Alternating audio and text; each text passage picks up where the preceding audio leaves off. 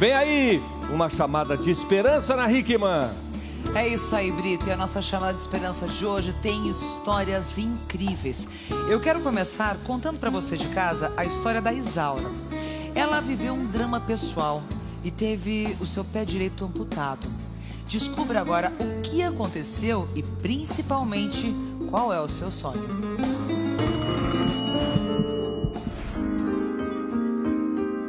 Aparência de uma mulher comum, mãe dedicada, boa dona de casa. Essa era a imagem que os vizinhos tinham da Isaura. O que ela passava e sentia, nem os familiares sabiam. Meu ex-marido era motorista de caminhão e ele bebia muito. E quando ele bebia, ele chegava batendo, saltando em mim, como nas crianças. E isso por quanto tempo você aguentou? 11 anos. Isaura tem cinco filhos e, a pedido das crianças, se encheu de coragem, se separou do marido violento. Mas outros problemas começaram a surgir a partir dessa decisão. E separei do meu marido e, assim, fui perdendo tudo. Tava perdendo serviço, perdendo assim, as coisas materiais, vendo meus filhos passar por necessidade. Aí foi, foi vindo assim, uma tristeza, um desânimo da própria vida. E pensava no quê? E morrer. Na época, Isaura sofria de depressão, mas não fazia tratamento médico para curar a doença. E pessoas muito deprimidas têm uma angústia tão forte, uma tristeza constante, capaz de gerar pensamentos terríveis, de frustração, de falta de esperança no futuro. Um dia, Isaura saiu de casa, decidida a pôr fim a essa dor. Tomou mais de 20 comprimidos de calmante e veio até a linha do trem tentar o suicídio. Do portão da minha casa, a linha do trem dá uns 100 metros, 200 metros. O trem pegou eu e cortou a metade do meu pé. Quando você mesmo provoca o que você está passando hoje é diferente, porque hoje eu me culpo muito de estar assim. Isaura perdeu o pé direito. Depende de muletas para se movimentar. Os filhos viram a mãe ser levada ao hospital após o incidente. Preferem não falar do passado, só apoiam a Isaura em tudo. As crianças ajudam a manter a casa em ordem. São a força física e emocional dessa mãe desde então. Minha mãe precisava bastante de todos nós, não só como de mim. Aí a gente começamos a também se adaptar, como a mãe disse. Aí a gente foi se acostumando. Faço de tudo para ajudar ela. Porque é a melhor mãe para mim. Isaura está casada com outro homem. José Carlos é um marido bem companheiro. Já vivia com ela quando o incidente aconteceu. Não tenho que reclamar dela, não, porque ela é uma ótima esposa. Entenderam que a depressão de Isaura era uma doença grave, que além de medicamentos, ela também precisaria de muito amor. Quatro anos depois de tentar tirar a própria vida, ela se diz recuperada, pronta para um recomeço. Muita gente acha que é frescura, mas só quem passa sabe o que é. Não é frescura. É, assim, ah, muita gente fala assim, ah, é frescura, depressão é frescura, mas não é. Por mais que você tenta sair dela, você não consegue. Se você não tiver um tratamento certo ali, você não consegue sair da depressão. Isaura está à espera de uma prótese para o pé. O Sistema Único de Saúde a mantém numa fila imensa e imprevisível. E quanto é essa prótese particular? Você já foi ver? Mais de 15 mil. Você não tem esse dinheiro? Não, não tenho. É, recebo um salário mínimo, meu esposo recebe um pouco acima de um salário mínimo, nem tem condições, né? Paga aluguel, nem tem condições de eu estar comprando, adquirindo essa prótese. Ela escreveu para o programa da tarde na esperança de conseguir essa prótese do pé direito. Está preocupada com o futuro. Sente fortes dores no quadril por equilibrar o peso do corpo em cima da perna esquerda. Fica em pé no máximo 15 minutos. Depois tem que descansar. E tem outro agravante. Isaura é cozinheira, trabalha em uma indústria de araras no interior de São Paulo. Está afastada do emprego desde que perdeu o pé, mas quer voltar ao serviço. Eu trabalho numa cozinha industrial também, são panelas tudo grande. Aí como que eu pego assim, vou pular dentro da cozinha, pegar aquelas panelonas grandes e trazer pro fogão. Não tem condição. Não, nem tenho condições de voltar a trabalhar desse jeito. Sobreviver a um atropelamento de trem pode ser considerada uma segunda chance de vida. Isaura pensa assim. Curada da depressão, cercada de amor, ela quer ver os filhos crescerem e valorizar cada dia de agora em diante. Voltar a trabalhar de novo, nossa, sabe? Andar normal. Na verdade, tenho vontade de usar salto. Porque acho que é toda mulher gosta, né? Tem vontade de usar salto de novo, de se produzir. A prótese seria um recomeço para Isaura e para toda a família dela. Desde quando ela sofreu acidente que ela tenta lutar por essa prótese. É um sonho da minha mãe. E de vocês também, né? Isso. Se eu conseguir a prótese aí, A primeira coisa vai ser colocar logo um salto alto. Uh! Isso? E sair toda bonitona Toda aqui pela bonitona, cidade de é. Araras, né? verdade.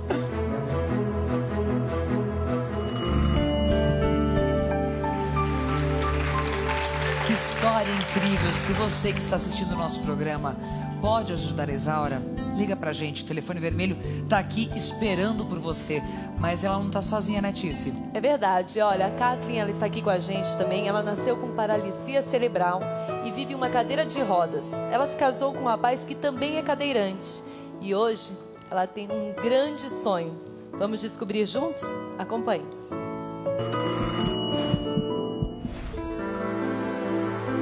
Uma história de amor sobre rodas. Kathleen teve uma paralisia cerebral logo após o nascimento. O Jailson foi vítima da poliomielite, que comprometeu os movimentos da cintura para baixo. E foi em um grupo de apoio para cadeirantes que você acredita que esse encontro mágico aconteceu? E um dia eu falei assim, não, eu vou conhecer esse grupo. Quero ver o que está acontecendo naquela... Aí ela, eu cheguei lá, a Kathleen tá com a cabeça no ombro de um rapaz. Eu falei, não, o que, que é isso? Aí quando eles me viram, ficaram todos sem graça, né? Aí ela falou assim, ah, mãe, estou namorando. Ela, nessa época ela tinha 18 anos. Estou namorando e, e a gente está pensando em casar. O namorico, que começou há mais de duas décadas, virou um casamento há oito anos. O programa da tarde hoje fez questão de viver de perto como vive esse casal de pombinhos tão apaixonado, a Kathleen e o Jailson. Onde a gente chegou agora, vamos ver se eles estão aqui em casa ou de casa. Ó, tá silêncio. Opa! Vamos lá. Tudo bom? Tudo bem. Posso entrar? Pode. Me conta uma coisa. Você sabe por que eu tô aqui hoje? Eu faço ideia. Faz ideia? Eu quero saber. Bem-vindo. Obrigado. O programa da tarde está sendo, tá recebendo as boas-vindas, mas está curioso. Sabe por quê? Eu quero saber uma história de amor aí de vocês. Só entre a gente aqui. Foi amor à primeira vista? Foi. É mesmo? E hoje você tá feliz? Sim, muito. É? Cadê esse maridão? Tá em casa hoje? Tá em casa. Tá? Vam- vamos chamar ele? Pode entrar? Pode. Vamos lá pra sala então, a gente vai conhecê-lo, Vamos tá? sim. Vamos com a gente. Agora me explica uma coisa. As pessoas têm dúvidas de como vivem dois cadeirantes numa mesma casa, como que faz comida, como que limpa a casa. É difícil pra vocês viver numa casa que não tem adaptação nenhuma? A gente vai se virando, a gente vai. Cada dia a gente mata um leão por dia, né? Então, Deus dá o jeito pra tudo. Se essa casa tivesse adaptação pra vocês, portas mais largas para cadeira passar, apoio para tomar banho, um banheiro mais bem preparado, facilitaria muito, Sim, claro, muita coisa. muita coisa. A gente pode acompanhar, como ver um pouquinho de como é o dia a dia de vocês na cozinha, no banheiro, acompanhar um pouquinho a dificuldade que passa quem quem tá numa cadeira de rodas e não tem uma casa adaptada. Sim,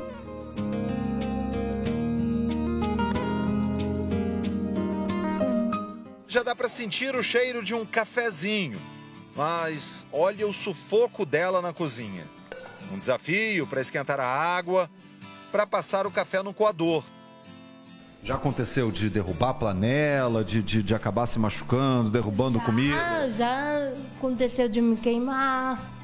Se o fogão fosse mais baixo, por exemplo, você acha que facilitaria? Sim, E a pia? também. Toalha no ombro, banho para o Jailson é maratona. O banheiro eu tô vendo que a porta não é tão, tão estreita, ela é até larga. O problema é o espaço lá dentro, não é. tem adaptação? Não, não tem, não tem adaptação. A única coisa que a gente tem assim foi aquela barra que a gente colocou. Uma barra de, de um azulejo ali? Para ela, porque eu não, não utilizo barra, né? Mas para ela é bastante importante para ela barra. O Jailson é quem mantém a maior parte das despesas da casa. Ele trabalha como auxiliar administrativo em uma empresa grande. Mas a renda da família, mesmo com a aposentadoria por invalidez da Kathleen, não passa dos R$ 1.500. Ou seja, nunca deu para fazer uma reforma na casa. Coisa simples para gente como sentar na cama, para ela é desafio. E aí você já deve estar imaginando o que essa família precisa. Mas não, ela não quer ganhar nenhuma reforma não.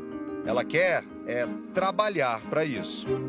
E a história da Kathleen e do Jailson chegou até o programa da tarde graças a essa moça aqui, ó, que é a mãe da Kathleen, que viu aí uma oportunidade de resolver um pouco a vida deles. Conta pra gente.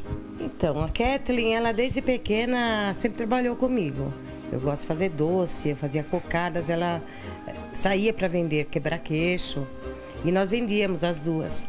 Aí ela, depois que casou-se, a casa nessas condições, ela falou, mãe, eu queria tanto ajudar a senhora e ajudar o Jailson. Trabalhar fora não dá. Eu falei, você queria o quê? Mas se tivesse um carrinho para a gente vender churrasco, a senhora me ajudaria? Eu falei, com o maior prazer. Aí eu escrevi a carta sem ela saber. Você não sabia? Não sabia. Esse carrinho de churrasquinho muda muito a vida deles? Ah, muda. Muda sim.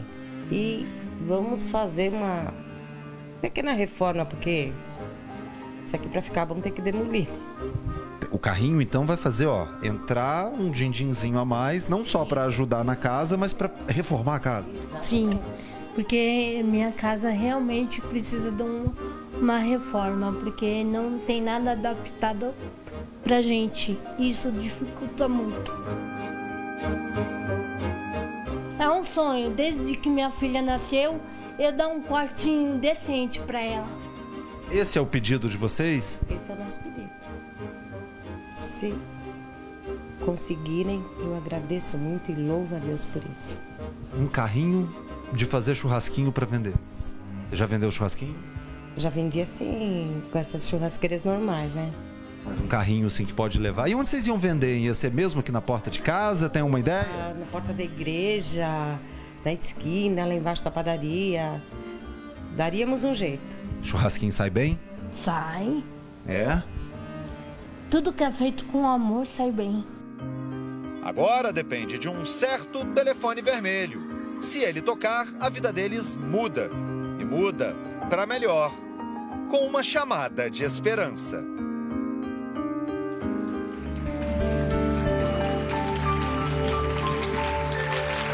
Cada história, hein? E esse telefone é mágico. Tá vendo o telefone vermelho aqui? Se você se emocionou, se você se identificou, se você puder, ligue pra gente.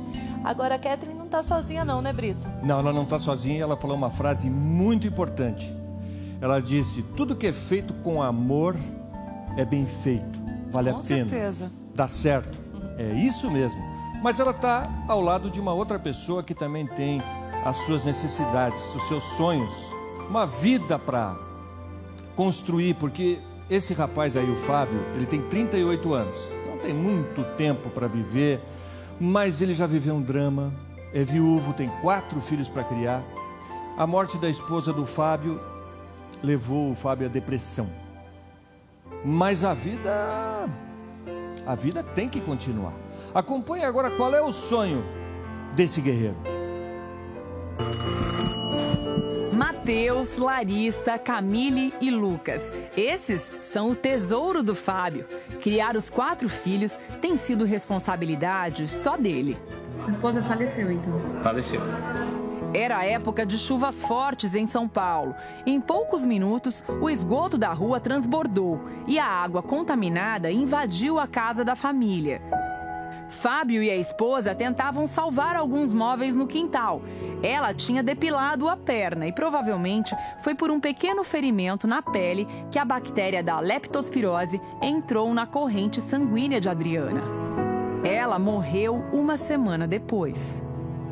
Ela entrou em óbito e eu fiquei com as crianças, com as, com as quatro crianças. Faz quatro anos que Fábio ficou viúvo. Agora ele mora no mesmo quintal dos pais. Está perto de quem pode oferecer a ele e aos filhos algum amparo. A minha aposentadoria não é lá essas coisas, mas eu tenho que me virar para dar para tudo. Mas graças a Deus, ainda não está faltando para ninguém não. Peça a Deus que nunca falte, né? Os avós dão o suporte financeiro e afetivo também. Eu quero que ele, ele seja feliz, né? Porque para ele ganhar o que ele quer, que ele está pedindo, né? Então eu quero que ele seja feliz, porque ele precisa. Ele Então, merece, né? Merece. Para tentar superar a dor da perda, Fábio foca no trabalho. É motorista de ônibus e se dá bem nesse ofício, mas está enfrentando uma barra muito pesada no momento. A geladeira vazia é a prova de que falta dinheiro até para alimentação. Foi aqui que deu a trinca entendeu? e afetou o braço todo. Aqui nessa parte eu não sinto mas aqui no ombro sinto. Fábio sofreu um acidente de trabalho. Caiu do ônibus ao descer do coletivo e estava dentro da garagem da empresa. A hora que você aperta a mão, assim, por exemplo, é com menos força. Você não tem aquela força para segurar o volante, é isso? Isso. E, e mudar de marcha também, né? Você tá com medo agora também disso, né? Muita gente. A sequela física se tornou um problema financeiro também. Por dois meses você ficou afastado pelo INSS. Isso. Aí os peritos te chamaram de novo para fazer uma reavaliação, é isso? Avaliação, isso. E aí, qual foi a, a resposta? A resposta foi que eu estava apto ao trabalho. E aí você ficou feliz com a resposta, voltou ao trabalho e apresentou esse laudo lá no trabalho. O que, que o médico da empresa disse? O médico da empresa não aceitou o laudo porque, porém, o médico da empresa falou que eu não estou apto ao trabalho. Então, o INSS te liberou, quer dizer, não estava mais te pagando benefício, te mandou de volta ao trabalho. Mas no trabalho, o médico da empresa disse que você não tinha condições Não de tinha voltar a dirigir ônibus. E aí? Aí você ficou no meio aí. Eu fiquei nesse meio pra lá e pra cá, entre o NPS e a empresa. E ninguém te pagou nada. Ninguém me pagou nada. Você não recebe nem o benefício do governo e nem o salário porque você não está na ativa. Isso, exatamente. Não recebi nenhum dos dois lados. Então você está com qual renda? Nenhuma. Há quanto tempo? Há oito meses. Há oito meses que não entra um real Um aqui. real não entra, nada. Um dia, assistindo ao programa da tarde, o Fábio teve a ideia de escrever para o quadro uma chamada de esperança pedindo uma ajuda importante que pode até aumentar a renda da família, né, Fábio? Isso. Que ajuda é essa? Seria uma máquina de fazer salgados. Ah, uma máquina de fazer salgados. Isso. Para você colocar aqui na sua casa mesmo. Isso, exatamente. E faria que tipo de salgado? Seco é coxinha, pão de queijo, Hum. brigadeiro. Vou fazer para festas aqui, né? inclusive aqui no bairro mesmo. Hum. Mercados, padaria. Já tinha clientela, uma, uma clientela certa já. Sim. A máquina de salgados ajudaria a família toda. Com o dinheiro da produção de coxinhas e pastéis, Fábio teria condições de melhorar a vida dos filhos e a dele também. É essa cama aqui? Meu! Fia! Nossa! De todos vocês? É! Então dormem cinco pessoas nessa cama de casal. É um aperto, hein? É, peito. Mas nada é jeitinho. Falar de um futuro próspero deixa Fábio com esperança. Qual que é o seu desejo como pai? Fez crianças felizes. É? Você acha que com mais dinheiro você conseguiria fazer alguma coisa por eles? É? Te dói eles pedirem, às vezes, um brinquedo, alguma coisa e você não ter o dinheiro? Dói. Qualquer um do, do aí, né? E felicidade é tudo do que a família toda precisa.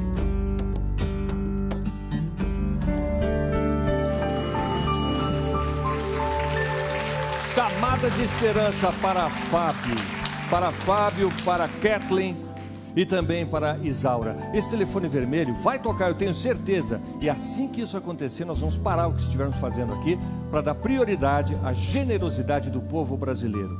Porque são três pessoas que têm necessidades. Mas vocês viram o detalhe? Todo mundo aí está pedindo coisas para poder trabalhar, para poder se locomover. Ninguém está pedindo nada que seja de luxo, Nada, não é frescura, é necessidade. É o que a gente quer. Ai, meu Deus céu. O telefone! Vem, Brito! Vem, Brito! Atende! Vai, vai, vai, Atende! Atende! Alô? Sim? Brito Júnior. Beijo pra Tiziane. Beijo. Beijo pra Ana. Beijinho Que pra bom. você. Eu não sei quem tá ligando, mas beijo, muito obrigada pela ligação. Claro que continua, claro que continua. Ele está perguntando, só um minutinho, deixa eu só explicar aqui, porque eu acho que até as pessoas em casa não entenderam direito. A gente estava na patrulha do consumidor e aí tocou o telefone da chamada de esperança, porque nós É. temos três pessoas, cada uma delas com seus desejos, suas necessidades, seu sonho para ser realizado, seu problema para ser resolvido. E a gente para tudo, E né? a gente para tudo para atender quem quer ajudar. É isso aí. E essa pessoa que está ligando aqui, que eu vou apresentar para vocês, eu também não, não- nem perguntei o nome. Você quer ajudar, né? É homem ou é mulher? Bacana, bacana. Então, é o seguinte, vamos relembrar os casos. Vamos relembrar. Nós temos aqui a Isaura. A Isaura, ela precisa de uma, uma prótese do pé, porque depois de uma situação dramática que ela viveu, um período depressivo, aconteceu um acidente envolvendo um trem, toda uma história que a gente contou aqui, eu acho que sensibilizou a todos, né? Ela perdeu o pé direito. Ela precisa de uma prótese para o pé direito. Ao lado dela nós temos a Kathleen. A Kathleen é cadeirante, assim como também o seu marido, Jailson, né? Os dois, é um casal de cadeirantes. A casa deles precisaria ser totalmente adaptada, uma casa bem simples, como, a, como é a maior parte da, da a casa da maior parte dos brasileiros. Mas não tem nada adaptado para a situação deles, de ter que se locomover sempre de cadeira de roda. Embora essa seja uma situação gritante, né? Puxa, precisava ter esse auxílio. O que eles querem não é a reforma da casa. O que eles precisam é uma churrasqueira para fazer espetinho. Porque assim é uma especialidade da família, já vi, né? Eles vão ter uma renda, né? churrasquinho, tá, vão ter uma renda e aí eles com a própria força econômica da, da família, eles vão poder fazer essas adaptações. E ao lado dela está o Fábio. O Fábio é motorista, motorista de ônibus. Ele sofreu um acidente, não pôde mais trabalhar, ficou desempregado e ele também quer dar um jeito na vida, uma máquina de salgadinho, uma máquina para fazer salgadinho. E ele é viúvo, né? Cuida É de viúvo. quantos filhos? Cinco? Quatro? Quatro filhos, né? Quatro filhos ele Sozinho. tem para cuidar, sozinho. Perdeu a esposa. E, inclusive, a história do Fábio foi uma história, é, uma história interessante no sentido de que a esposa dele, ela teve leptospirose. Isso é um alerta agora para esse, esse período que a gente está vivendo de chuvas em todo o Brasil, porque acontecem as enchentes e muita gente acaba sofrendo dessas doenças que são transmitidas pela água contaminada, né? Só que a esposa dele chegou num. Ela, ela faleceu, ele ficou viúvo. Bom, essas são as três pessoas que estão aqui. Uma delas vai receber o apoio, a ajuda, o auxílio dessa outra pessoa que está aqui comigo no telefone. Quem é? Ah, você está querendo saber demais. Ai, Eu vou Brito perguntar. Júnior, Você não perguntou o Pelo nome? amor de Deus. Eu só posso dizer que é um homem, tá? Tá. Só posso dizer que é um homem.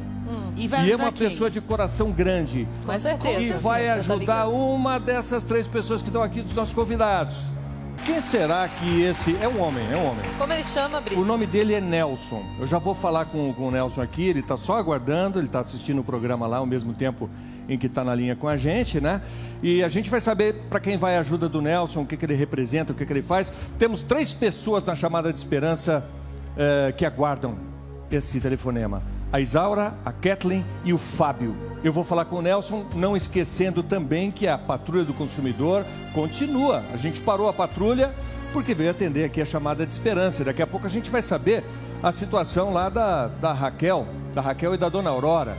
Aquele móvel que elas encomendaram faz um ano, não receberam o, o- o móvel que já pagaram, inclusive 800 reais lá do marceneiro. Alô! Alô, Nelson? Alô? Ô, Nelson, que Oi, prazer em tê-lo aqui, rapaz. É, é Nelson Molé, seu nome, né? N-O-L-E. Nelson Brito, é com o Molé. maior prazer que estou aqui colaborando com vocês. Sobre uma Prazer é história nosso. muito triste que eu, que eu vi no seu programa. Quarta vez? Sim, é, participamos algumas vezes e tem uma história que eu achei muito interessante e eu gostaria de ajudar essa pessoa. É mesmo? O que, que você faz? Bem, eu sou diretor da Conforpes Ortopedia em Sorocaba e gostaria de fazer a prótese da Dona Isaura. Aê, dona Isaura!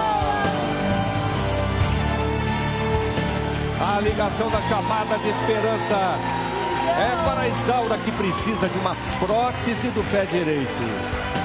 É isso que você vai fazer por ela, Nelson? Uma prótese do pé direito? Exatamente.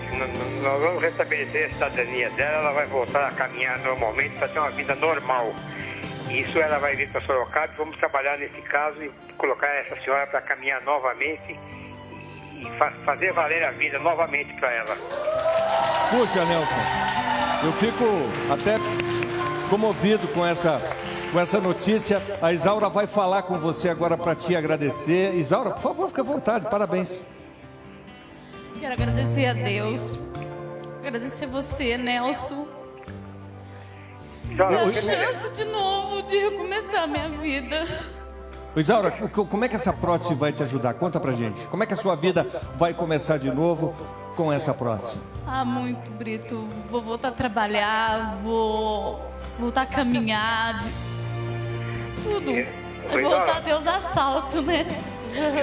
Nós vamos tocar uma de tecnologia avançada no seu caso. Nelson, muito obrigado, muito obrigado mesmo. Você tem um coração muito grande.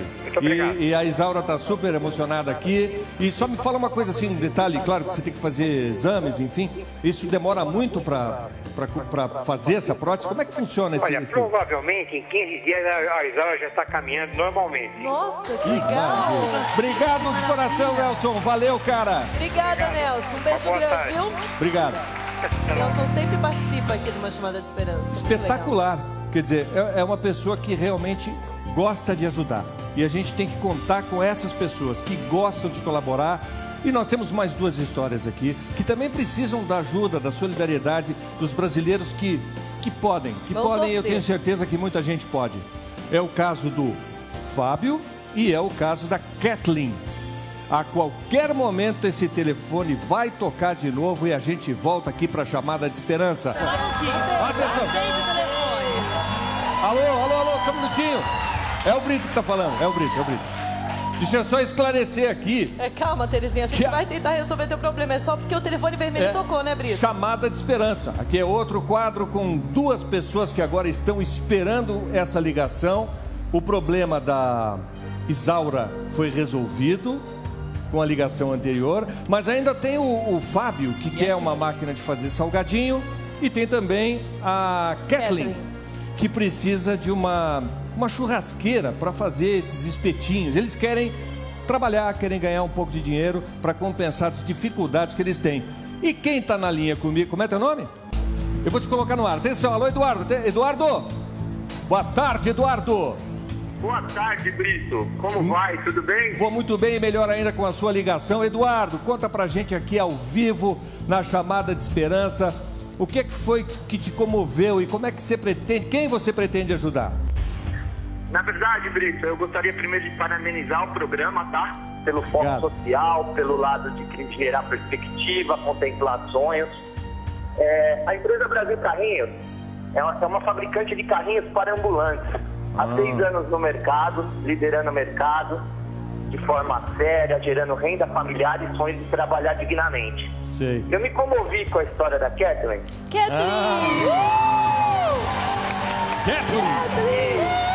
A Brasil Carrinhos, nesse momento, tá Olha só, você está assistindo aí, olha a Ketra e a alegria dela.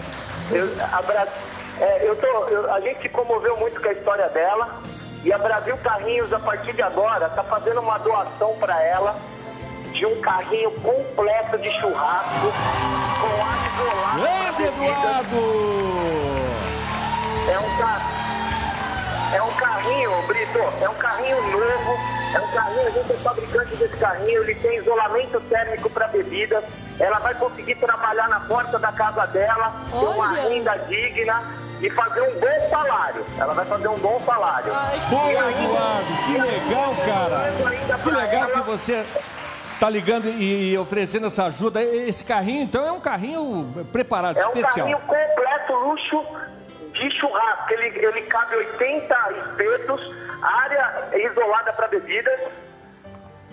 E além disso, eu vou doar a carne e todas as bebidas para ela começar o negócio dela. Boa, garoto! Tá bom? A minha empresa é Brasil Carrinhos. Ô, Eduardo, a Kathleen, ela não consegue nem falar, cara. Ela tá. Pode falar, Kathleen, fala. Eu quero agradecer em primeiro lugar, a Deus por essa oportunidade de eu estar aqui. Eu quero agradecer à equipe da Record e a você, moço, que me ajudou. Que Deus te abençoe. É o Eduardo. Eduardo, desculpa pela emoção. É, que Deus te abençoe e que te dê em dobro.